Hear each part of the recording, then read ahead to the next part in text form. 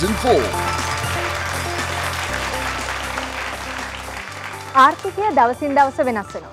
දැනුම මොහොතින් මොහොත අලුත් වෙනවා.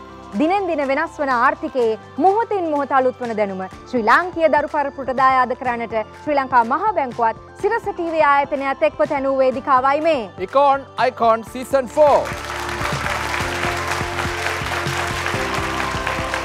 ශ්‍රී ලංකා මහ බැංකුව මූල්‍ය උපදේශකත්වය විතරක් නෙවෙයි මේ වැඩසටහනට අපේ ආශිර්වාදය අපිට ආශිර්වාදය සියල්ල බෙදා හදා ගන්නවා ලංකාවේ දූ දරුවන්ගේ ආර්ථික විද්‍යා දැනුමේ නිම් වලලු පුළුල් කරන්නටම.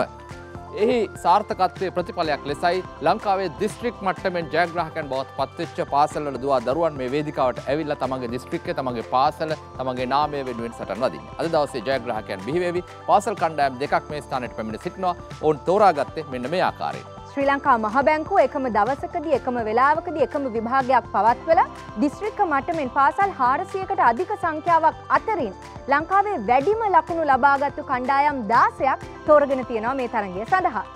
මේ වදීරේදී කවුද තරගය ජයග්‍රහණය කරන්නේ? අන්න ඒ ගැන තීරණය කරන්න තමයි අපි මේ තරගය පවත්වන්නේ සීසන් 4 හැටියට. හරි අපි අද කණ්ඩායම් දෙක හඳුනා ගනිමු. කවුරුන්ද පාසල් මොනවාද ඔවුන්ගේ දිස්ත්‍රික්ක කියලා අපිට එතකොට ලංකාවටම කියන්න පුළුවන්. අද දවසේදී අපිත් එක්ක එකතු වෙනවා මොනරාගල දිස්ත්‍රික්කයෙන් මල්වත්තාවල ජාතික පාසල. ඔවුන් සමග හොඳ තරගයක් දෙන්නට හොඳ සූදානමකින් ඇවිත් ඉන්න බව පේනවා කෑගල්ල දිස්ත්‍රික්කයෙන් ශාන්ත මරියා විද්‍යාලය. අපි කණ්ඩායම් දෙකම නායක දෙපළට ආරාධනා කරනවා එන්න ඉදිරියට කියා අපි තරඟවාදීන්ට කාසී වාසී අතුරු දුරගා බලමු. නයෝමි දිල්ෂාන් එන්න ඉදිරියට. කවුරුන් ජයදුම් කරන්න බැරි. අපි ඇදම් කර කමක් නෑ කමක් නැහැ. හරි. සූදානම්නේ? සුද කාසී වාසී ජයග්‍රහණය කළොත් මොකද්ද කරන්න ඉතයි? පරවෙන් තරන් කරනවා තරඟ කරනවා. මෙන්න කාසිය සිරස් සහ අගය තියෙන ඔබට පුළුවන් ආයුධම් කරන්න අවස්ථාව උදා කරගන්න. සිරස ආසියේ වාසිය නම් අද යන්නේ නයෝමි ඔබේ පාසලටයි. කාසිය වාසිය ජයග්‍රහණය කරන්නේ ඔවුන්. නයෝමි. ඔබ මොකද තීරණය කරන්නේ? තරගයට මුහුණ දෙනවද මුලින්ම? ඔවුන්ට අවස්ථාව දෙනවද ඔවුන් ප්‍රාර්ථනා කරපු විදිහට? අපි තරඟට මුලින්ම මුණ දෙනවා ප්ලෑන් එක තිබුණේ කොහොමද මුලදී? අපි මුලින්ම තරගවාදී දැන් ඔබට අවස්ථාව තියෙනවා. ප්ලෑන් එක වෙනස් වුණා. මොකද හිතන්නේ? ඒක ප්‍රශ්නයක් නෑ කියලා හිතෙනවා මං ඉස්සෙල්ලා බොරුවට කිව්වේනේ. හරි. කණ්ඩායම් දෙකටම සුබ පතනවා අපි තරගය ආරම්භ කරමු. විනිශ්චය මණ්ඩලයත් ප්‍රධාන ආරාධිතත් අපි හඳුනා ගන්න ඕනේ. කණ්ඩායම් දෙකටම පුළුවන් තමන්ගේ ස්ථානවලට යොමු වෙන්න දැන්. තරගය සඳහා සූදානම් වෙන්න. අද දවසේ වැඩසටහනේ අපේ ප්‍රධාන ආරාධිතා මුත්තා ශ්‍රී ලංකා මහ බැංකුවේ සහකාර අධිපති ජනක කරුණාරත්න මහතා. කරුණාරත් මහතා අ, මීට කලින් අපිට මාධ්‍ය අ, අවස්ථාවන් කීපයකදී මුණ ගැවුණා. එතුමත් අපිත් එක ක්ෂේත්‍රයේ වැඩ කරපු කාලය ඇතුළත ඔබතුමාට මතකද? ආව ඉතාමත්ම ගෞරවයෙන් පිළිගන්නවා මිහිරි මතකයක් එක්ක. අ, කරුණාරත් මහත්මයා අපි දැන් වෙනත් අංශයක ඔබතුමාගේ වපසරිය තියෙන්නේ. දැන් මොන ක්ෂේත්‍රයට සම්බන්ධවද ඉන්නේ? මහිතන්න ඔබතුමා මම මීට පෙර හමුණේ මුදල් කටයුතු සම්බන්ධ මහිතන වැඩසටන් ගණනාවක් සිර සමාධ්‍යාතය සමඟ අපි කරා ඇතින බෙහෙම ප්‍රයෝජන වුණා වර්තමානය මම සාකාරාධිපති වශයෙන් මගේ යටතේ Uh, දෙපාර්ත්මේන්තු තුනක කටයුතු අධීක්ෂණය කරනවා එකත්මයි බැංකු නොවන මූල්‍ය ආතන දෙපාර්තමේන්තුව සහ අපේ අ, තව තියෙනවා අ, නීති සහ අනුකොලතා දෙපාර්තමේන්තුව තව අපේ රෙසලූෂන් එන්ෆෝස්මන් ඩිපාර්ට්මන්ට් කියලා තියෙන ඒ ආයතන තුන තමයි මගේ යටතේ අධීක්ෂණය වෙන්නේ. එහෙනම් හිතේ තියෙන ප්‍රශ්නේ ටක් ගාලා අහලා කෙටියෙන් උත්තරයක් අරන් යන්න ඕනේ. මොකද මේ වැඩසටහන බලන උදවියට පණිවිඩයක් එහෙම හොයාගන්න පුළුවන් වෙයි. මොකද හරියට මේ මූල්‍ය ආයතන ලංකාවේ තියෙනවා. සල්ලි ටික ආයෝජනය කරන්න ඕන විවිධ ආකාරයේ වරප්‍රසාද දෙනවා කියලා කැඳවනවා. හැබැයි මහ බැංකුවෙන් වරින් වර දැන්වීමුත් දානවා මේ ලියාපදිංචි නැති ආයතන වලට දාලා අපිව අල්ලගන්න එපා වගේ එකක් කියන පණිවිඩ අපි දකිනවා කාලෙන් කාලයට. කොහොමද සාමාන්‍ය මහජනතාව තීන්දුවක් කරන්නේ වැඩියෙන් ඇඩ්දාන කොම්පැනියද ලොකු එමනත්ත වැඩියෙන් පොලිය දෙන කොම්පැනියද ලොකු එමනත් නියෝජතය ගෙදෙට ඇවිල්ලා හදවතරම කතා කරන ආයතනයද හරි කොහොමද හරියට තමන්ගේ සල්ලිටික දාන ආයතන තෝරගන්න අපි පළවෙනි ප්‍රශ්න තමයි අපි මුදල් තැන්පත් කරලා තියෙන්නේ ශ්‍රී ලංකා මහ බැංකුවේ ලියාපදිංචි නැති ස- නැති ආයතනයක. දෙවැනි කාරණය තමයි දෙවැනි සමාගමක මුත්තල් තැන්පත් කරත් අ, අපිට සීට සීයක් මහ බැංකෝ වගකීමක් දෙන්න එවැනි මුදල් තැන්පත් කරගෙන අප මුදල් ලැබීම පිළිබඳ. හැබැයි ඒ පිළිබඳව අපේ අවධානයම කරන්න ඕන ඒ ආයතනයේ මූල්‍ය තත්ත්වය පිළිබඳ. ඉතින් ඒ පිළිබඳවත් වරින් වර ඒ ආයතන විසින් තමන්ගේ මූල්‍ය තත්ත්වය පිළිබඳ දැන්වීම් පල කරනවා එහිදී විවිධ නිර්ණායක තියෙනවා ඉතින් ඒ පිළිබඳ අවධානය කොරොත් උදාරණ වශමන් දෙක තුනක් සඳහන් කොරොත් ද්‍රවශීලතාවය ප්‍රාග්ධන අවශ්‍යතාවය සහ වෙනත් බාහිරායතන මගින් ලබා දෙන වර්ගීකරණයන් තියෙනවා ඒ පිළිබඳ අවධානය යොමුකොරොත් අපිට යම්කිසි අවබෝධයකට එන්න පුළුවන් ඒ ආයතනයේ සුරක්ෂිත භාවය පිළිබඳ. ඊට අමතර මම කියන්න කැමති විශේෂයෙන් අපේ ලියාපදිංචි සමාගමක දැමත් බැංකෝකාරි මුදල් සමාගමක අපේ තියෙනවා මේ ද්‍රවශීලතා මේ ආරක්ෂණ ක්‍රමයක් රක්ෂණ ක්‍රම එයටතේ රුපියල් ලක්ෂ හයක් දක්වා රක්ෂණ ආවාරණයක් ලැබෙනවා මේ තමන්ගේ මුදල් තැන්පතුවට ඉතින් ඒ පිළිබඳව මම හිතන්නේ මහජනතාව දැනුවත් වෙන්න ඕනේ තමන්ගේ මුදල් තැන්පතු කරනකොට. බොහොම ස්තුතියි. බොහොම ස්තුතියි. ඒ වටිනා අදහසත් එක්ක අපි දැන් යනවා අපේ ගෞරවනීය විනිශ්චය මණ්ඩලය හඳුනා ගන්නට. මුලින්ම අපිත් සමග එකතු වෙනවා ශ්‍රී ලංකා මහ බැංකුවේ නිරාකරණ හා බලගැන්වීමේ දෙපාර්තමේන්තුවේ අධ්‍යක්ෂ දසන සිරි බී දිසානායක මහතා. ඒ වගේම අපත් සමග එකතු වෙනවා ශ්‍රී ලංකා මහ බැංකුවේ බැංකු අධීක්ෂණ දෙපාර්තමේන්තුවේ අතිරේක අධ්‍යක්ෂ ජගත් ගමලත් මහතා. ඒත් එක්කම අපත් සමග එකතු වෙනවා ශ්‍රී ලංකා මහ බැංකුවේ දේශීය මෙහෙයුම් කටයුතු දෙපාර්තමේන්තුවේ අතිරේක අධ්‍යක්ෂ ආචාර්ය අනිල් පෙරේරා මහතා. කෙලින්ම පළමු තරග වටේ ආරම්භ කරනවා කණ්ඩායම් දෙකටම සුබ පතලා පළමු තරග වටේ ස්වභාවය මෙන්න මෙහෙමයි. First round. එක් කණ්ඩායමකට ප්‍රශ්න තුන බැගින් හිමිවේ. තනි තනිව ප්‍රශ්නවලට පිළිතුරු ලබාදිය යුතුවේ. සෑම ප්‍රශ්නයක් සඳහාම පිළිතුරු හතරක් ලබා දෙනු ලැබේ. තරඟකරුට නිවැරදි පිළිතුර ලබාදීම සඳහා අවස්ථා තුනක් හිමිවේ. පළමු අවස්ථාවට ලකුණු සේයයි දෙවන අවස්ථාවට ලකුණු පණහයි දෙවන අවස්ථාවට ලකුණු විසි පහයි. පිළිතුරු ලබාදීමේ කාලය තප්පර දහයකි. පිළිතුර වැරදි හෝ පිළිතුර මගහරින අවස්ථාවක ප්‍රතිවාදීන් හට අවස්ථාව හිමි නොවේ. සුබ පතන කණ්ඩායම් දෙකටම මෙන්න සදීප ඔබ තමයි තරගය ආරම්භ කරන්නේ පළමු වටේ පළමු ප්‍රශ්න. රටක මුදල් සැපයෝමෙහි අඩුවීමකට හේතු වන්නේ මේ අතරින් ඒ ආදායම් බදු අනුපාතිකයේ පහළයෑමක්. B මහබැංකුව විසින් රජයේ සුරැකුම්පත් විවට වෙළඳපලෙන් මිලදී ගැනීම. C ව්‍යවස්ථාපිත සංචිත අනුපාතිකය ඉහළ දැමීම. D බාණ්ඩ හා සේවා සඳහා කරනු ලබන රජයේ වියදම්වල ඉහළ යෑමක්. පිළිතුර C ව්‍යවස්ථාපිත සංචිත අනුපාතිකය ඉහළ දැමීම පිළිතුර නිවැරදි ලකුණු ලැබෙනවා. අද දවසේ උසම ක්‍රීඩකයා ඔබයි මේ තරගයට ඉන්නේ. තරක ඔබේ ප්‍රශ්නය. පුළුල් මුදල් සැපයුමට මේ අතරින් අයත් නොවන්නේ M2B කියන කාණ්ඩයට අයත් නොවන්නේ කුමක්ද? ඒ වාණිජ බැංකු වෙත ඇති කාලීන සහ ඉතිරි කිරීමේ තැන්පතු. B වාණිජ බැංකු වෙත ඇති මහජනයා සතු විදේශ ව්‍යවහාර මුදල් තැන්පතු. C බලපත්‍රලාබී මුදල් සමාගම් වෙත ඇති මහජනයා සතු කාලීන සහ ඉතිරි කිරීමේ තැන්පතු. D වාණිජ බැංකුවල පවත්වාගෙන යන මහජනයා සතු ඉල්ලුම් තැන්පත්. පිළිතුරසේ බලපත්වලාබී මුදල් සමාගම් තති මහජනහතු කාලීන සහ ඉතිරි කිරීමේ තැන්පත්. සාසරලයි පිළිතුරත් පැහැදිලි නිවැරදි ලකුණු ලැබෙන.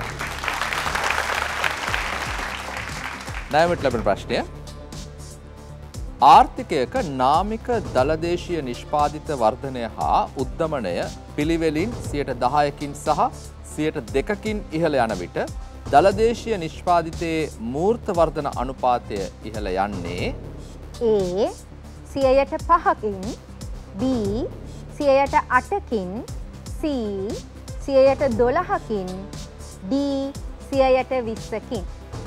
පිළිතුර B සියයට අටකින්. ගාන හැදුව හරි පිළිතුර නිවැරදි ලකුණු ලැබෙනවා. දිල්ෂාන් ඔබටයි ළඟ ප්‍රශ්නය.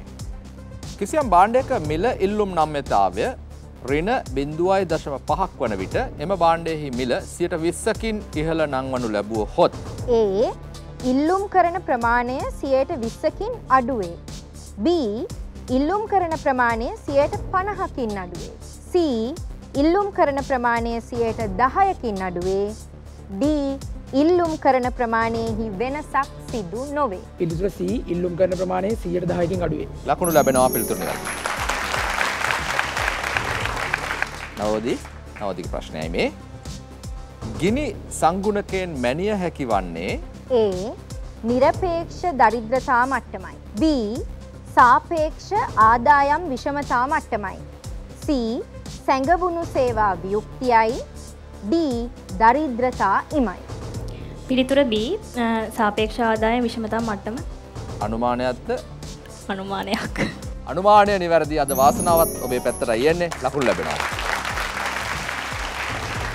චානක ඔබටයි මේ ප්‍රශ්නය. ශුද්ධ පොදු භාණ්ඩයකට උදාහරණයක් වන්නේ. A. මෝටර් රථයක්. B.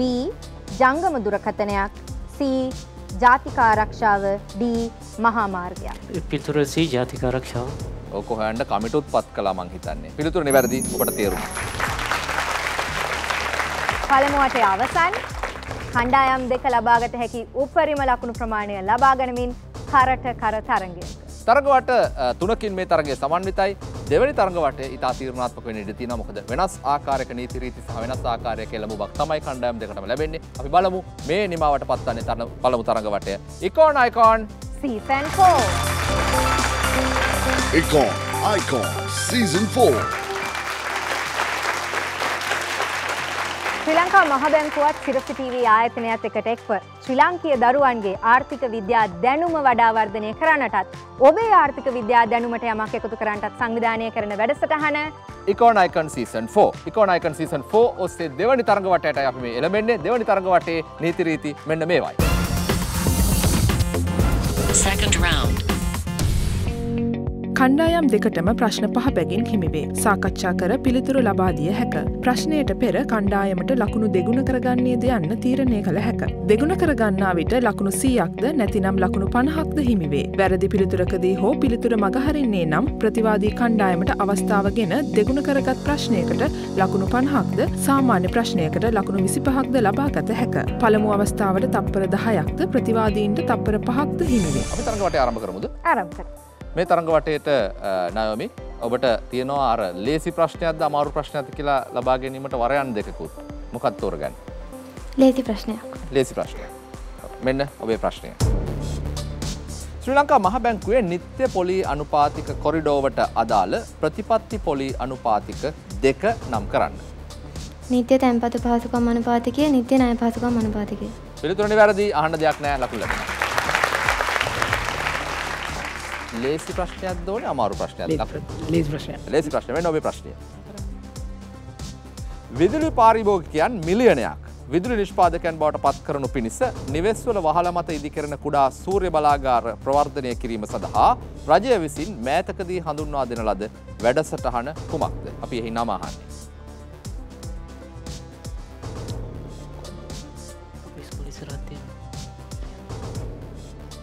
කාලය අවසන් අනෙක් කණ්ඩායමට අවස්ථාව තියෙනවා. උත්සාහ කරනවාද? උත්සාහ කරන්නේ නැති බවක් පේන්නේ. උත්සාහ කරන්නේ නැහැ. ඉරු දෙවියෝ ඇවිල්ලා කතා කරත් කණ්ඩායම නම් වචනයක්වත් කතා කරන්නේ නැහැ. ඔව්. සූර්ය බල සංග්‍රාමය හරියට ප්‍රවර්ධනය කළා මං හිතන්නේ මේක. දැන් වරදින්නේ නැහැ නේ. ඊළඟ ප්‍රශ්නයට යමු. ඔබේ ප්‍රශ්නය නවෝදය ඔබේ පාසලට යමු වෙන්නේ. ලේසි ප්‍රශ්නයක්ද අමාරු ප්‍රශ්නයක්ද? ලේසි ප්‍රශ්නයක්. මුදල් ප්‍රමාණවාදය යටතේ මුදල් සංසරණ ප්‍රවේගය පිළිබඳව පවතින ප්‍රධාන උපකල්පනය කුමක්ද. මුදලේ සංසරණ ප්‍රවේගයේ ස්ථාවර පවතින බව. පිළිගන්න පුළුවන් පිළිගන්න පුළුවන් පිළිතුර නිවැරදි කියලා දේශ මණ්ඩලය කියනවා. දේශාන් අමාරු ප්‍රශ්නයක් දාලා එකපාරම ගන්නවද ලොකු ලකුණු ටිකක්? නෑ අපි ලේසි ප්‍රශ්නයක් අපි ලේසියට ගණන් ගන්න අනිත් කණ්ඩායම. හරි. නිදහස් වෙළඳ ගිවිසුම් ඇති කර ගැනීමේ බලාපොරොත්තුවෙන් ශ්‍රී ලංකාව දැනට සාකච්ඡාවල නියැලමින් සිටින රටක් නම් කරන්න. සිංගප්පූරුව පිළිතුර නිවැරදි ලකුණු ලැබෙනවා රටවල් කිහිපයක් තියෙනවා සිංගප්පූරුව ප්‍රමුඛයි. ඊළඟ ප්‍රශ්නය. ලේසි ප්‍රශ්නයක්ද නැවෙමි? අමාරු ප්‍රශ්නයක්ද? ලේසි ප්‍රශ්නයක්. ලේසි ප්‍රශ්නයක්. දෙදස් දහට මහබැංකු වාර්තාවට අනුව ශ්‍රී ලංකාවේ ජනගහනය දහස්සකට දල මරණ අනුපාතිකය කොපමණද.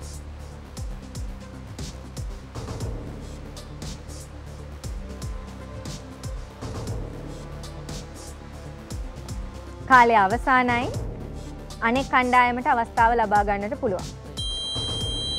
හයදශම හතයි විනිශ්මලට අපි යොමු කරනවා මොකද මේ දශමස්ථානයකට වරණගන්න හරි අමාරුවෙන් මේ ගණන් එක නිසා පිළිතුරු බාරගන්න පුළුවන් ද කියලා ඔබේ මතය අපි දැනගන්න කැමතියි. නිවැරදි පිළිතුර විදිහට බාරගන්න අපහසුයි. නිවැරදි පිළිතුරු විදිහට බාරගන්න අපහසුයි මොකද ඒවා මරණීය උත්තර බවට පත් වෙනවා පස්සේ කාලෙක නැත්තම් හරියටම දශමයටම ඒවා නිර්මාණය කරලා තියෙන ලොකු වියදමක් පිරිවැයක් දරලා. මීළඟ ප්‍රශ්නය අමාරු ප්‍රශ්නයක්ද ලේසි ප්‍රශ්නයක් දෝන ලේසි ප්‍රශ්නයක් ලේසි ප්‍රශ්නයක්. දළ ජාතික ආදායම ලබා ගැනීමට දළ දේශීය නිෂ්පාධිතයට එකතු කළ යුතු අයිතමය කුමක්ද. විදේ සුද්ධ ප්‍රාථමික ආදායම් නිවැරදි පිළිතුර විදියට බාරගන්න පුළුවන්.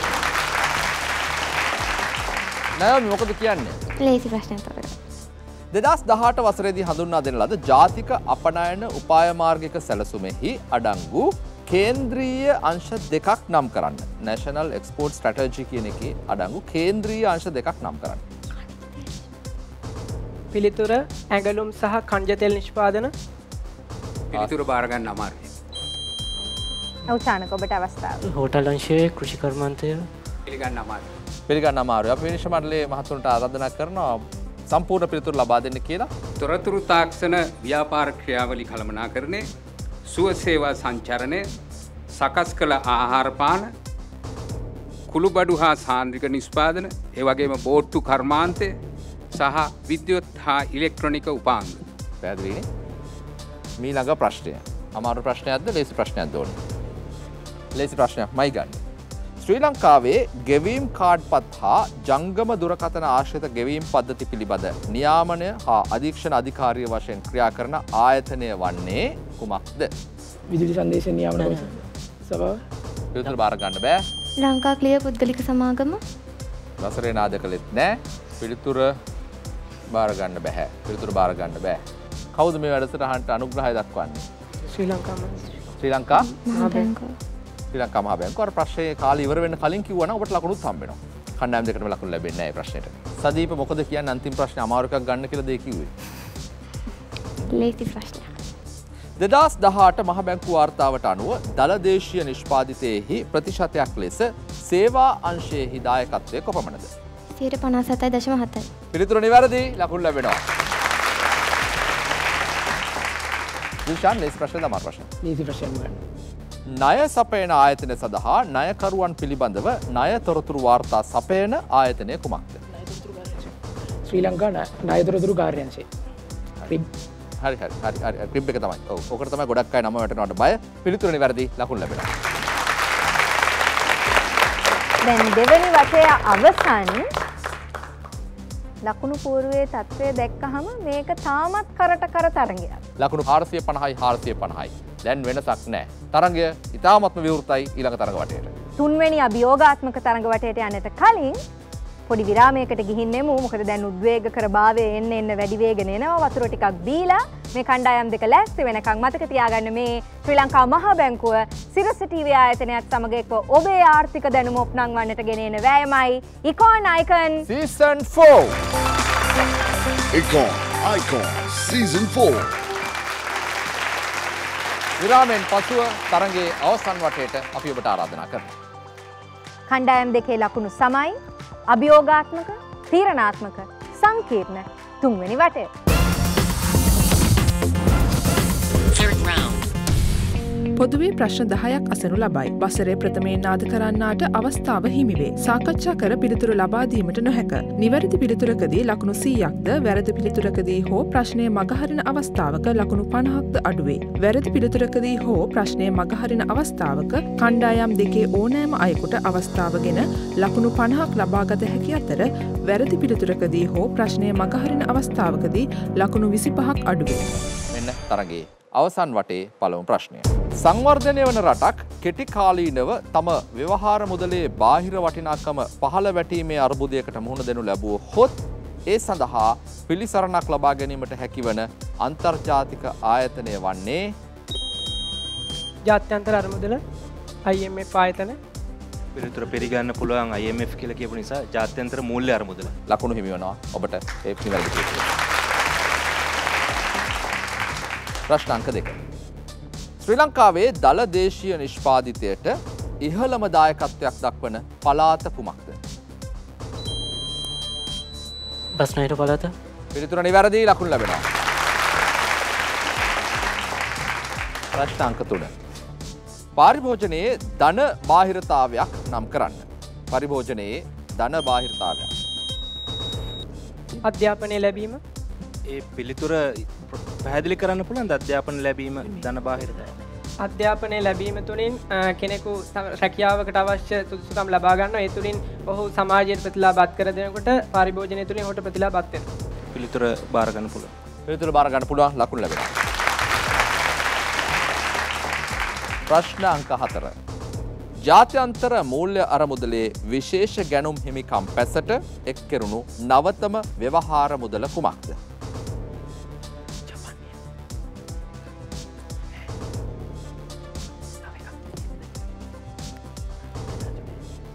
කාලය. කාලය අවසන් චීනයේ යුවාන් කියන එක්කේ බවට මතක තියාගන්න. ප්‍රශ්න අංක පහ. ලෝක ආයෝජන වාර්තාව World Investment Report ප්‍රකාශයට පත් කරන්නේ කිනම් ආයතනයක් විසින්ද.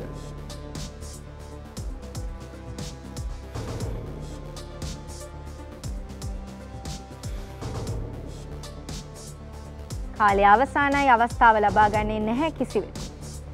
එක්සත් ජාතීන්ගේ වෙළඳ සහ සංවර්ධන පිළිබඳ සම්මේලනය United Nations Conference on the Trade and Development කියන ආයතනයයි අ, මතක තබා ගන්න. ප්‍රශ්නාංක හය. දළදේශය නිෂ්පාධිතයේ ප්‍රතිශතයක් ලෙස දෙදස් දහ අට වසරේදී අධ්‍යාපන අංශය සඳහා රජයේ වියදම වූයේ කියද.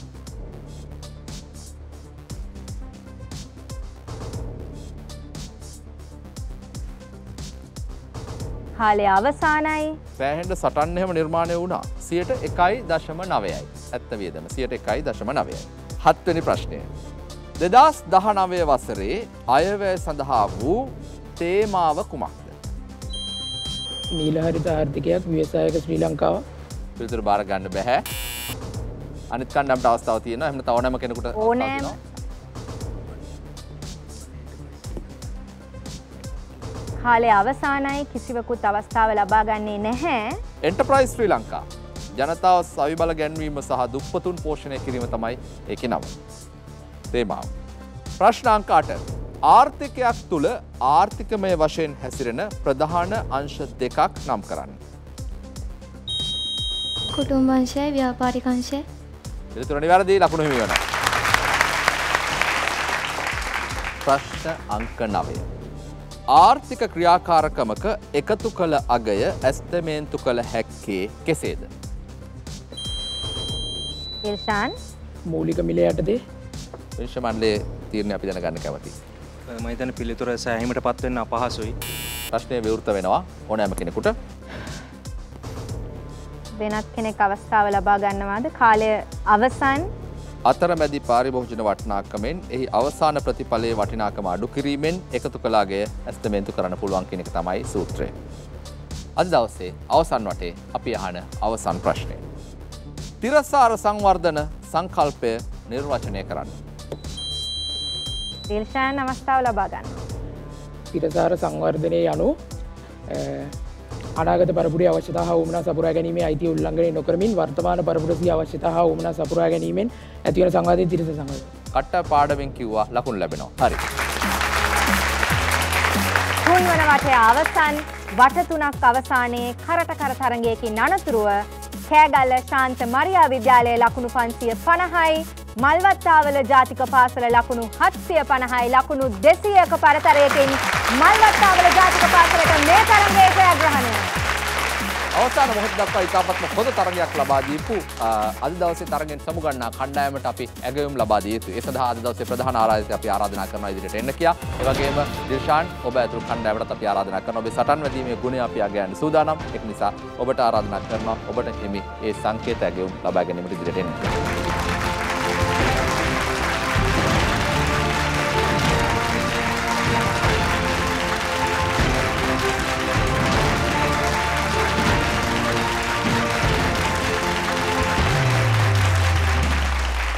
ආරාධනා කරනවා අද තරගේ ජයග්‍රාහකීන් මල්වත්තාවල ජාතික පාසල් කණ්ඩායමේ නායිකාවට තමන්ගේ කණ්ඩායමට හිමි මුදල් ත්‍යාගය අපේ ප්‍රධාන ආරාධිත මුත්තාතින් ලබා ගන්නවා.